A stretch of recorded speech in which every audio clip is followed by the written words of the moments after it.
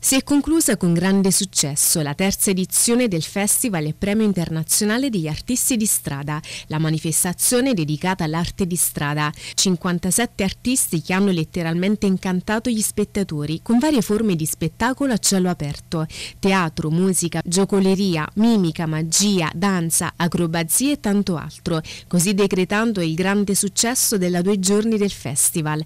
L'iniziativa è dovuta in primo luogo al giusto mix di attrazioni presenti presenti per il pubblico, oltre alle tantissime performance realizzate dagli artisti di strada. Infatti largo spazio è stato lasciato anche alla gastronomia locale, affidato alle attività di ristorazione che hanno scelto di aderire all'iniziativa, dislocate lungo il percorso della manifestazione, mettendo a disposizione di tutti i buon gustai le specialità tipiche del territorio cilentano ed a spettacoli di varia natura che hanno allietato i presenti. La risposta del pubblico è stata calorosa e sorprendente, corso Corso Matarazzo, Piazza Lucia e Lungomare Perrotti si sono trasformati in una festa animata da adulti e bambini. Parole di soddisfazione per la grande riuscita del festival da parte del vice sindaco e assessore al turismo e cultura di Castellabate Luisa Maiuri.